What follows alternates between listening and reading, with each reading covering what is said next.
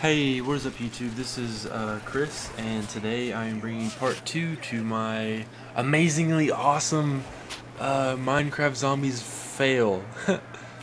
okay, so if you missed the first episode, uh, I'm playing Minecraft, the, the Minecraft map for Custom Zombies World at War. Uh, I'm playing this before I went to work, so I had to go anyway, so I needed to end somehow. But I didn't want it to end the way it ended. I'll go ahead and give you a little bit of a spoiler, but not in entirely. Um, well, let me just say this. There is a buyable PPSH in this map, and it is, I'm not going to tell you how much, but it does cost money, and it is somewhat hidden. And there is also a buyable ending to this map, and I don't remember how much that is. I think it's like 50k points. But the ending of this, I fail pretty hard, and it's pretty funny when I'm done with the gameplay. I'm like, oh, F it! And then, you know, I'm laughing at myself or whatever. uh, but yeah, now I think I'm just, you know, running my trains. I've opened up into the cave a little bit. Uh, pretty soon I'm going to go buy Juggernog. Actually, I think I'm going to go buy it, like, right now. After I kill off the rest of these zombies. Um, so yeah, you will see the rest of this map. The underground area is like is pretty cool. The above ground is like what you would see above ground in Minecraft. Um, the cave area is like you're in the caverns in Minecraft, and the underground part is like the nether. So that's pretty clever.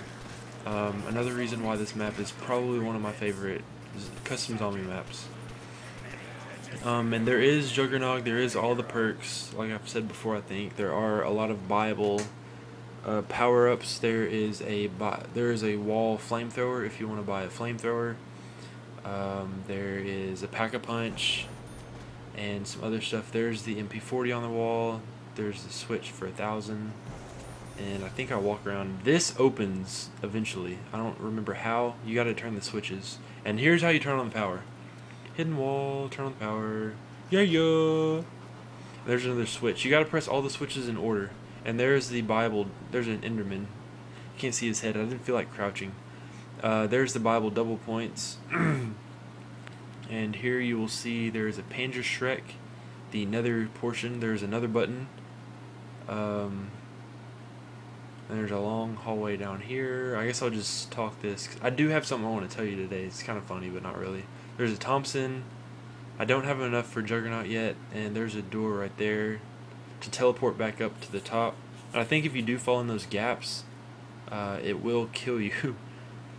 there's two hidden walls. One has another a switch. I'm not really sure what it does. Something special is waiting for you. And then there's the flamethrower. and there's Juggernog. It was on the left. Okay. And there is the zombie counter. This this map is pretty cool with that. Um, so let me get to what I wanted to talk about. I wanted to talk about okay, so I've started working part time at Subway, and I've seen a couple funny, crazy things while I've been working.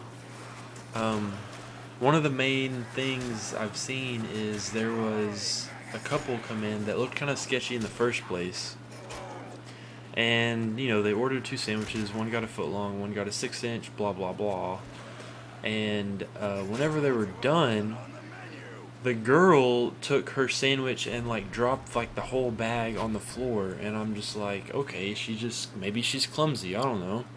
And she picks it up she goes over to the table where they are possibly going to sit and um, they talk for a little bit they don't ever sit down they talk for a little bit and um, they come back to the register and then they start an argument what they argue is, of course, when you make the sandwiches, and I, ma- I made both. Th- I made both sandwiches. When you make the sandwiches, you have to wear the plastic gloves. You know, of course, for um, sanitation reasons. But when I passed the sandwich off to the dude that was checking them out, he wrapped it up without gloves on. And they said that they wanted that they, you know, didn't want to eat there anymore. That oh well you just lost two customers for the future and you know we were like well we can just give you your money back and i was even like well shoot i'll, I'll make you two more dude and they're like no no no keep the money keep the money whatever and they just like walked out and you know it was a big old argument. Like the the the checker outer said that, well, I wrapped it up and I touched the wrappers only. I never touched your sandwich with my hands. And remember, he's not wearing gloves. And you know they're all like yelling or whatever. So my question is, is that really necessary? like, I mean, even if somebody made your sandwich without gloves on, uh, you're not gonna die. I mean, people might argue with me that maybe you could, but honestly, in my opinion, the gloves are necessary when you're making the sandwich, but other than that, they're not really necessary. And I mean, for all the sanitation reasons, like, it is good that employees have to wash their hands all the time. I mean, I do, but the I mean your your body has immune systems and they fight against germs. You know, you at home you make sandwiches uh, with your bare hands all the time. What's the difference with somebody else making your sandwich with clean hands because they wash them? Uh, what's the, what's the difference? I mean, you're you don't wear gloves at your house, so why are you gonna complain at Subway just to raise a ruckus? I don't know. In my opinion, this dude just he just wanted to start something, and I don't know. Some people are just too picky. The only other really picky person I've had coming to Subway was like my very first day, and that was my fault. That was my fault. I think she was Muslim because she had the the full headgear and like the dress and everything. Um, and apparently Muslims can't have alcohol. It might be against their religion. I'm not sure. Um, but I accidentally put vinegar on her sandwich because I, I thought she said vinegar and oil and I put like maybe a fifth of vinegar on there, and then before she stopped me, and she was like, "No, no, no, no, I didn't say vinegar. I didn't say vinegar." And I was like, "Oh crap!" And I was like, "Oh, sorry." And she said, "I can't have that sandwich now." And I was like, "Really?" I mean, the vinegar soaks in. I just made you this whole sandwich, and you can't eat any of it because I put a little vinegar on the sandwich. I mean, I don't know. So I think some people are just kind of picky, um, honestly. But other than that, I mean, I don't know. I mean, there's the pack punch, by the way. I mean, I guess, I guess, I guess people can do that. I mean, they are paying for you to make their sandwich, so you might as well make it good, you know. Um, and this right here teleports you to the diamond house, and it doesn't work yet, I don't think. But that switch, I think it opened the diamond house. Like you can't open the diamond house from the outside like you can the other houses. Um, you have to open it from that switch. So, yeah. Yeah, that was my little. Those are my little, two little stories, and I mean, those are my questions. You can leave. You can leave comments and stuff in the comment section section, but um, I mean, it's just whatever. I mean, there's picky people in the world. The dude didn't want a sandwich because he thought the dude touched it. I mean, it's just whatever. See you later, bruh. Um, and I was like, oh crap, 3,000? What? I'm gonna have to go through a whole nother round just to open that freaking door. And that's the door to the buyable ending, by the way. Um, so yeah, that's my those are my Subway stories. If you guys have anything to add, you know, anybody that works fast food, maybe you got a crazy story, um, share it. Okay, but yeah, I think right now I was like a little bit panicking because I didn't have a gun that was decent. And here I get the Panzerschreck again. I was like, mother. and I didn't have enough to go again, so I am starting the round with a Panzerschreck and I think an MP40 with low ammo. I don't remember what it said. It was like, bitch, blow you up, dog. Okay, but yeah, there are six houses out on top. There's two on the right and three on the left and one in the end. And uh, if you've never played this map, the one on the end has Mystery Box. The Diamond House has the portal. Um, the that house to your right, right there, it has a buyable insta kill, I think. And the house on the left, the brick house, has the PPSH and the um, buyable ending. And the house right to right to my left, you can't see it anymore. It has a jukebox that plays the music.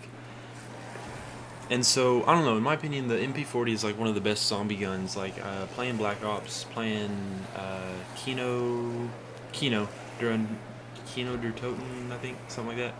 I think that was my favorite gun to get. I mean, I don't know. I like the iron sights on the MP40.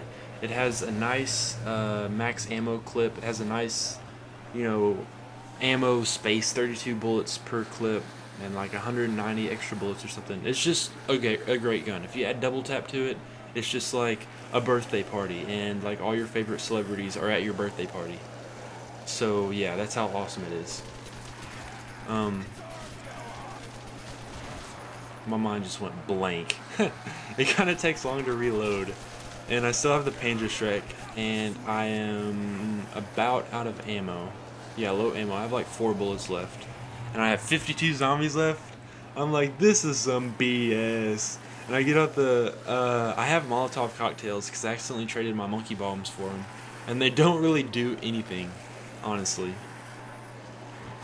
The pro zombie dodge. Um, so yeah, this video has like three minutes left because I'm looking at the time. I think after this round, it's over. so, I didn't get a chance to do anything. I will beat this map for you guys. And I am about to buy... See, look at that. It doesn't do anything. I was like, golly, these things suck. I'm about to buy World at War, like, right now. Um, so, anybody that plays World at War and has Skype, I definitely want to play with you and make a commentary with you. Because I freaking love World at War Zombies. I'm about to start playing uh, the new, I guess it's a new map. Um, it's called Zeba Farm. It's a little bit hard. I tried it this morning and I was like, I don't know where anything is, you know, it's kind of a tricky map. So I looked up a video on it. I just watched one video um, and I kind of know where things are now. But yeah, I'm gonna I'm gonna try to do a live commentary with that and upload that because I think it'll be pretty awesome. It looks it's a pretty awesome map. Um, so I'm excited to bring that to you guys, and it'll probably be it might be like a two or three or four part video. I know recording with Fraps is gonna be like freaking 50 gigabytes because I'll probably be playing it for a long time. And with Fraps, downloading with Fraps, it's like a gigabyte a minute. Uh, it's really weird. If anybody has a better a better way of recording gameplay, uh, please let me know because Fraps takes up so much memory. I've actually used the Microsoft Expression Encoder 4. I really like that, except I don't think it records games. So that kind of sucks. And right here, I'm kind of in a bind because I don't have any ammo.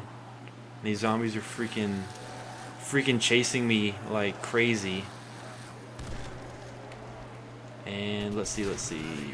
I kill him. How many are left? Oh, I don't have any left. This is the end. This is it. Okay, so I'm like, oh shit, I gotta go get this gun. I don't have any weapon. I don't have any ammo. I didn't buy a, a MP40 ammo because I, I was I was like 100% sure I was gonna make it to this house, which I did. But what happens is I open the house. I thought the I honestly thought the PPSH was free. It's in a hidden wall. I get there, 2,000. I'm like, gosh. And then this is the end. and then I got a max ammo. I don't know how I didn't die. But then there, I'm dead. And that's the end. Okay, guys, thank you for watching this video. And please leave a like, comment, subscribe, whatevs.